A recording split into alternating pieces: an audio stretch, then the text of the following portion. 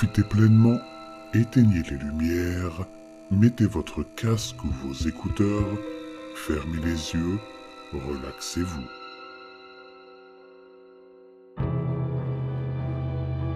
La mélancolie de Rodolphe Solomon.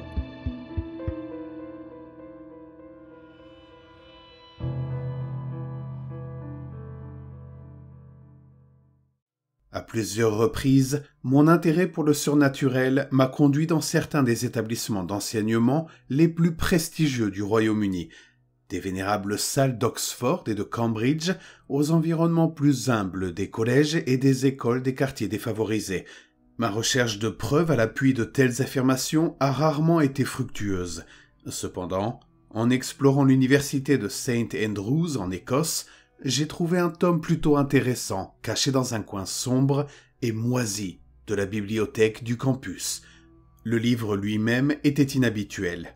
Sa couverture étant reliée dans un cuir noirci et usé par les intempéries qui portaient sans honte les rides et les craquelures du temps. Il datait du XVIe siècle et semblait contenir diverses descriptions et récits de la vie quotidienne des habitants d'Ettrick, une petite ville isolée construite dans les landes du sud du pays. En parcourant le volume, on y trouve une grande variété d'entrées provenant d'un certain nombre d'auteurs et couvrant une période de 60 ans. Il semblait avoir été transmis d'un ancien à l'autre au cours de cette période et pour être tout à fait franc, il contenait en grande partie des réflexions oiseuses sur les habitants de la ville et des plans pour un certain nombre d'humbles projets de construction et d'amélioration. Alors que j'étais sur le point de conclure que ce livre n'avait que peu d'intérêt pour moi, j'ai remarqué que quelqu'un avait fait un dessin à l'intérieur de la quatrième de couverture. L'image était élégante, mais je ne l'aurais jamais qualifiée d'agréable à regarder. En fait, ma réaction immédiate a été le dégoût lorsque je l'ai vue pour la première fois. La combinaison des lignes noires dures et presque rageuses utilisées et de l'imagerie austère de la scène telle que décrite par l'artiste m'a laissé une impression tout à fait désagréable de son sujet. J'ai frissonné en parcourant des yeux l'image de ce qui semblait être un homme, grand, avec des bras et des jambes longs et minces. Son visage était partiellement caché par l'une de ses mains blanches et décharnées, mais ce que l'on pouvait voir était monstrueux. Ses yeux étaient enfoncés dans son crâne, et les bois environnants semblaient se tordre et s'éloigner de lui avec effroi. J'ai d'abord pensé qu'il s'agissait d'un affreux graffiti, mais au bas de la page était inscrite la date de 1578 et un nom plutôt inhabituel, Rodolphe Solomon. J'ignorais s'il s'agissait du nom du personnage menaçant du dessin ou celui de l'artiste. Troublé mais contraint par cette sombre scène sylvestre, j'ai décidé que le livre méritait d'être étudié plus avant. Je désirais ardemment savoir qui était cette créature et pourquoi quelqu'un avait ressenti le besoin de capturer sa forme étrange dans un dessin. Un dessin à la fin d'un livre utilisé pour relater la vie des habitants de la ville. En y regardant de plus près, ce qui m'a encore plus surpris, c'est que la même image semblait se retrouver ailleurs dans le livre, mais dessinée par des personnes apparemment différentes. Dans le livre, j'ai trouvé de nombreuses mentions de Rodolphe Solomon, et il m'a paru qu'il s'agissait bien de l'homme émacié de l'image. Il avait vécu au XVIe siècle, à la périphérie de la ville d'Étric. C'était une petite localité peu développée, entourée de tous côtés par l'épaisse couverture de la forêt d'Étric, elle-même située au milieu d'une vaste région de Landes méridionale. La ville possédait une petite église paroissiale, avec un humble clocher, une auberge normalement fréquentée par ceux qui traversaient la campagne impitoyable, et des rues pavées pittoresques qui serpentaient autour des cottages en pierre et de l'hôtel de ville. Selon les descriptions du livre, au cours du mois de décembre 1577, des enfants ont commencé à disparaître de la ville. Le premier fut une jeune fille du nom d'Alana Sutherland.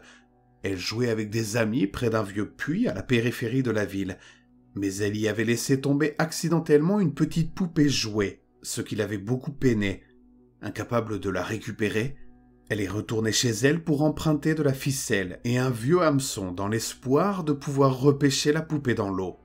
Elle a été aperçue pour la dernière fois alors qu'elle se dirigeait vers le puits, au moment où le soleil se couchait. Pris de panique, les habitants de la ville se mirent à chercher, à draguer le puits, à ratisser les champs de blé et même à envoyer plusieurs groupes de volontaires dans les bois environnants. Hélas, la jeune fille n'a pas été retrouvée. Quelques jours plus tard, un jeune garçon du nom d'Eric Kennedy faisait une course pour sa grand-mère. Il faisait nuit.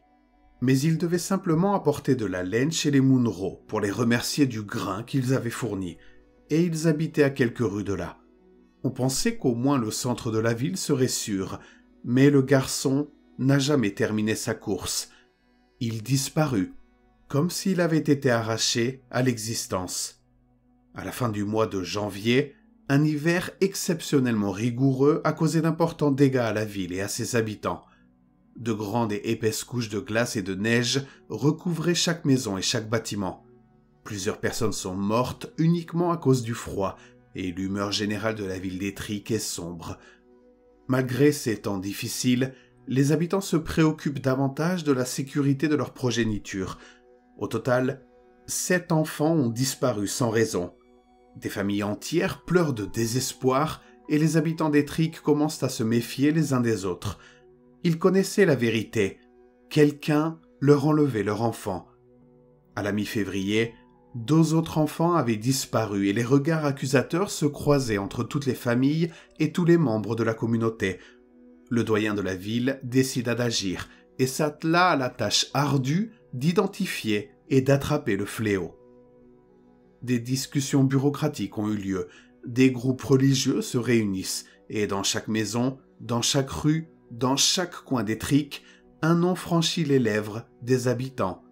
Rodolphe Solomon. Plus ce nom était prononcé, plus sa culpabilité devenait certaine, Rodolphe Solomon est un marginal. Il vivait dans une petite cabane en bois dans les bois qui entouraient la ville et, en raison de son apparence malheureuse, il avait tendance à éviter tout contact humain. Personne ne sait exactement de quoi il souffre, et à l'époque peu éclairée de la campagne écossaise du XVIe siècle, nombreux sont ceux qui pensent qu'il est maudit. Des yeux modernes auraient deviné qu'il était victime d'une maladie débilitante. Il s'aventurait rarement en ville, sauf à quelques occasions pour acheter des provisions, et même dans ces cas-là, il se couvrait le visage d'un chapeau brun terni et d'un morceau d'étoffe grise qui masquait ses traits sous deux yeux profonds et assombris. Plusieurs habitants de la ville ont raconté des histoires sur Rodolphe Solomon. Selon ces récits, il se tenait à la lisière de la forêt, regardant les fermiers labourer leurs terres et leurs enfants jouer dans les champs. La fascination qu'il exerçait sur les enfants en a mis plus d'un mal à l'aise. À plusieurs reprises, des enfants de la ville sont rentrés chez eux après avoir joué près de la forêt avec des poupées et des jouets magnifiquement fabriqués. Il s'agissait de cadeaux de Rodolphe Solomon, et en tant qu'enfant innocent, il ne pouvait pas connaître les dangers qu'il recelait. Lorsque les enfants commencèrent à disparaître, les regards se tournèrent immédiatement vers l'homme étrange qui vivait dans les bois. Les accusations sont portées par les chuchotements de parents effrayés, et à mesure que les chuchotements se multiplient, leur volume augmente, jusqu'à ce qu'il soit décidé que Rodolphe Solomon doit être arrêté. Par une froide nuit de février, les anciens de la ville décrétèrent que Solomon devait être arrêté immédiatement. Le chagrin, la colère, le ressentiment et la peur atteignirent des sommets à cette nouvelle et tous les hommes, femmes et enfants se mirent en route à travers les champs, pénétrant dans la forêt environnante à la recherche du tueur d'enfants Rodolphe Solomon. Les détails de ce qui s'est passé cette nuit-là sont limités, mais il semble que les habitants de la ville d'Étrique aient tenté d'expulser Rodolphe de sa petite cabane en y mettant le feu. La foule a applaudi à mesure que la chaleur augmentait et que le feu prenait.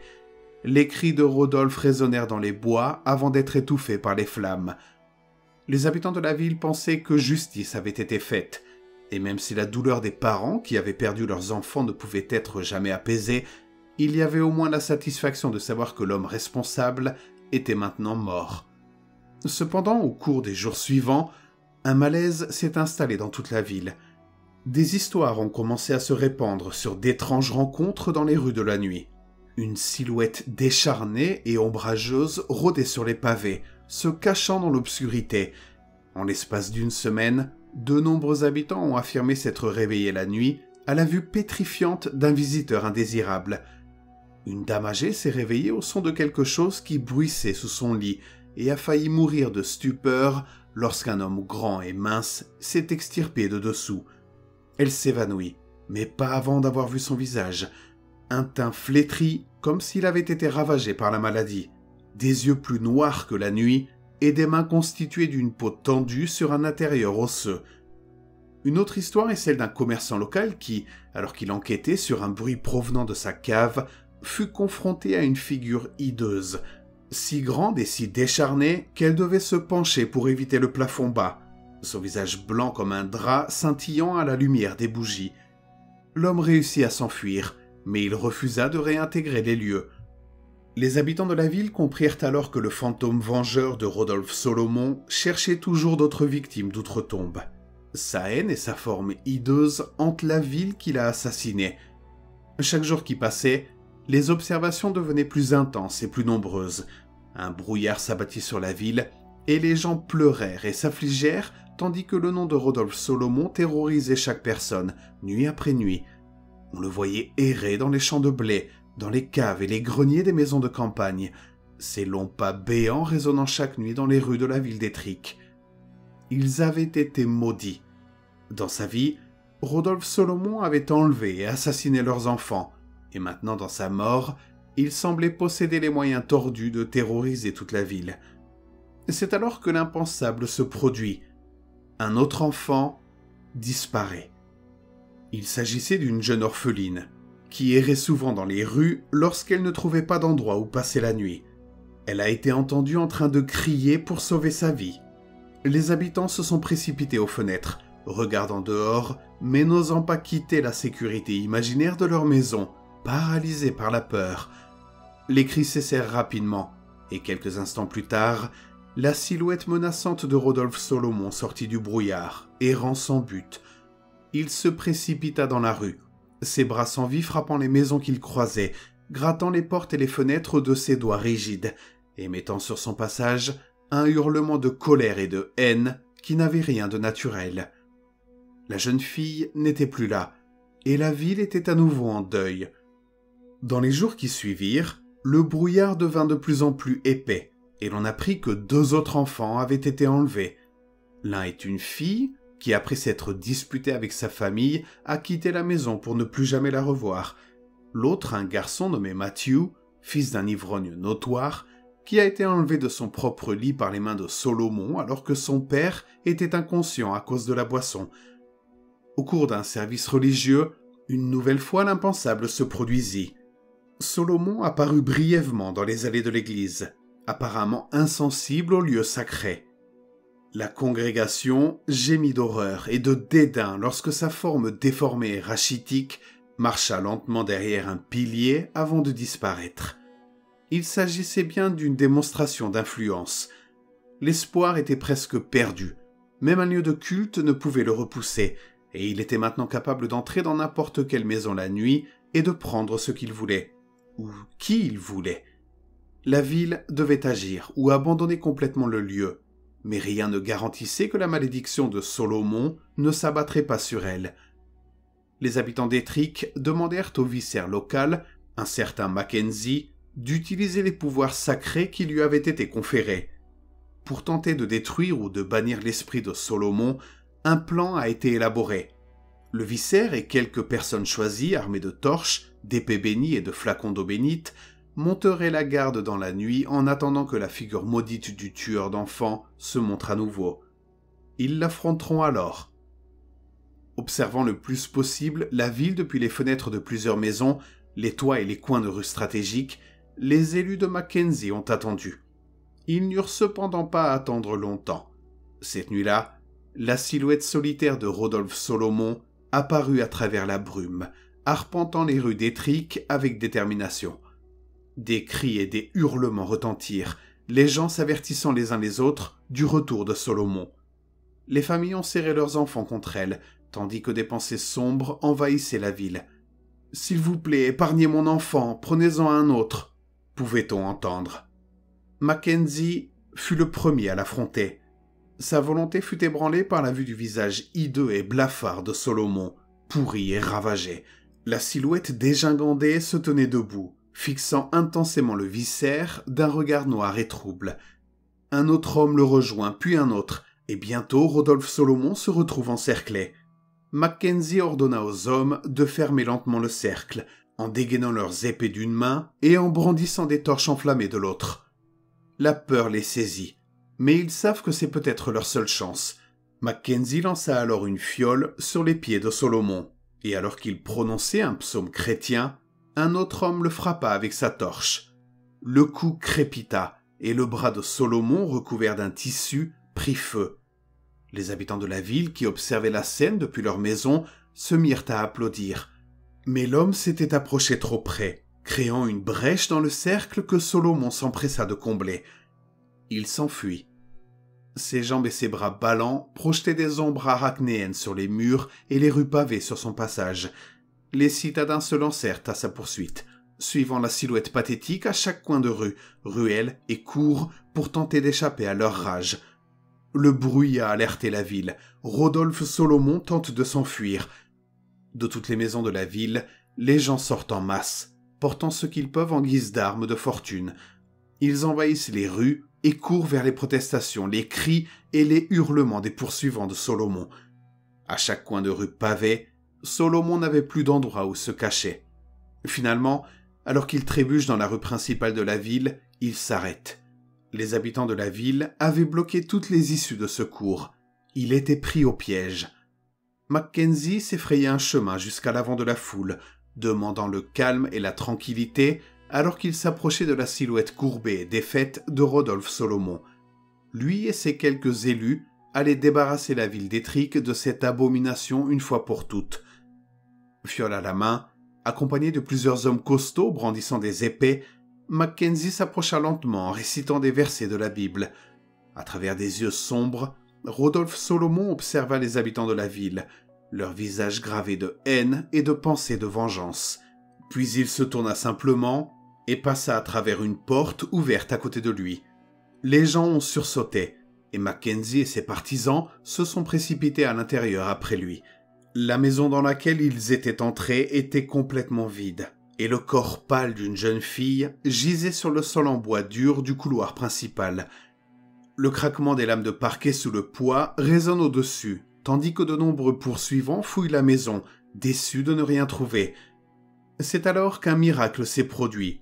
La petite fille a repris son souffle. Elle était vivante. Elle n'avait que peu ou pas de force. Tout ce qu'elle pouvait faire était de prononcer un seul mot. En bas. Dans la cave de la maison, Mackenzie découvre une scène sinistre et horrible. Le sol était couvert de sang, et le corps presque mort d'un homme gisait face contre terre. Les enfants qui avaient été enlevés étaient enchaînés au mur de cet endroit sombre. Ils étaient partiellement drogués, mal nourris et traumatisés, mais ils étaient vivants. La ville se réjouit de la nouvelle, les familles sont réunies, les vies sont réparées. Le brouillard d'un hiver sombre et horrible se dissipe lentement et tout semble aller pour le mieux. Lorsqu'ils reprirent des forces, les enfants racontèrent ce qui leur était arrivé. Chacun d'entre eux avait été enlevé par un homme appelé Tom Sutherland. C'était le père de la première fille disparue et il semblait que c'était lui qui l'avait tué. Personne n'en était sûr, mais beaucoup connaissaient son mauvais caractère et plus d'une fois, il avait battu la pauvre Alana. Consommé par la culpabilité et le deuil, Sutherland a commencé à prendre des enfants sous la menace d'un couteau et à les enfermer dans sa cave. Il les droguait souvent avec une herbe locale et les battait parfois en pleurant pathétiquement. Le jour où les enfants ont été retrouvés, Sutherland est entré dans la cave, ivre, muni d'un couteau et d'une corde. Il a recommencé à frapper les enfants et leur a dit que l'un d'entre eux mourrait ce jour-là. Il a détaché l'une des enfants et l'a plaquée au sol avec ses genoux. Le couteau plane sur son cou, mais au moment où il s'apprête à lui enfoncer la lame, quelqu'un entre dans la maison. Sutherland s'enflamme de colère, mais la personne qui se tient en haut de l'escalier lui inspire une telle peur qu'il recule rapidement dans la cave la grande silhouette balafrée de Rodolphe Solomon se glissa sous l'embrasure de la porte. À sa vue, et maintenant qu'elle était libre, la petite fille se glissa rapidement entre les longues jambes de Rodolphe. Elle était libre, mais trop faible pour courir. Elle finit par s'évanouir avant de pouvoir s'échapper de la maison. Les détails de ce qui est arrivé à Tom Sutherland sont brouillés par l'état instable et semi-conscient des témoins, mais il est clair que son cou a été brisé et que sa tête a été tordue avec une telle force qu'elle faisait face à une direction opposée et non naturelle. Plusieurs témoignages ont fait état d'aperçus ultérieurs de Rodolphe Solomon, et certains enfants ont affirmé avoir trouvé des poupées et des jouets magnifiquement fabriqués à l'occasion, assis à l'orée des bois, mais bien sûr, ces témoignages ne peuvent être corroborés. En fait, j'aurais dit que toute l'histoire ne pouvait être corroborée, s'il n'y avait pas eu les événements que j'ai vécus plusieurs mois après avoir lu ce vieux livre, dans les profondeurs de l'université de St. Andrews. Un collègue et ami très cher m'avait invité à passer quelques jours dans sa maison de famille, à la campagne. Je savais que la maison se trouvait dans la région frontalière, à moins d'une demi-heure de route d'Étric, et je ne pouvais pas manquer l'occasion d'aller voir la région de plus près. J'avais réussi à persuader les autorités en place de me permettre d'emporter le livre de St. Andrews et de le montrer à mon ami. Il avait un intérêt particulier pour l'histoire de la région et une connaissance non négligeable de celle-ci. J'ai pensé qu'il pourrait peut-être éclairer cette curieuse histoire. Sa famille a été très gentille avec moi, et la maison et son terrain étaient sereins sous le soleil d'été, avec ses enfants jouant dans les champs et s'amusant avec insouciance et bonheur. Après avoir lu le livre, il m'a dit qu'il était fascinant et qu'il connaissait un poème local qui avait été écrit au XVIIe siècle sur un homme appelé Solomon qui tuait des enfants, mais il ne pouvait pas m'en dire plus. Le lendemain, nous avons entendu des cris venant d'à côté de la maison. C'était la petite fille de mon ami. Nous nous sommes précipités dehors, en suivant les appels à l'aide par-dessus une vieille clôture, et en descendant d'une colline herbeuse escarpée, nous avons atteint une rivière sinueuse et furieuse, la fillette était tombée dans l'eau et s'accrochait à une grosse racine d'arbre qui sortait de la berge opposée et se jetait dans l'eau. La racine était mouillée et mon ami a poussé un cri d'angoisse lorsque sa fille a perdu sa prise et a été entraînée dans le courant vers une grande formation d'énormes rochers pointus qui émergeaient sous la surface de l'eau. La rivière ne la lâchait pas et la projetait avec une telle force qu'il était difficile d'imaginer comment elle pourrait survivre. Terrorisée à l'idée qu'elle puisse se noyer, nous avons finalement atteint le bord de l'eau. En nous précipitant dans le torrent trouble, nous avons regardé impuissants la pauvre petite fille qui allait s'écraser sur les rochers. Nous étions trop loin. Soudain, notre attention fut attirée par les craquements et les grincements d'une grande silhouette décharnée de l'autre côté de la rivière, qui sortait des bois à toute vitesse sur la rive opposée. D'un seul geste, une main fine et osseuse plongea dans l'eau violente, luttant contre les immenses courants, pour finalement mettre la jeune fille à l'abri. Elle était vivante, effrayée, pleurant, mais vivante et indemne. La silhouette émaciée au visage pâle a déposé la jeune fille doucement sur le sol. Elle nous a regardés de l'autre côté de l'eau avec des yeux sombres, tandis que nous nous issions à notre tour en sécurité. Puis la silhouette s'est retournée et a disparu dans les bois. Même dans la mort, Rodolphe Solomon était l'âme la plus gentille et la plus douce qui soit.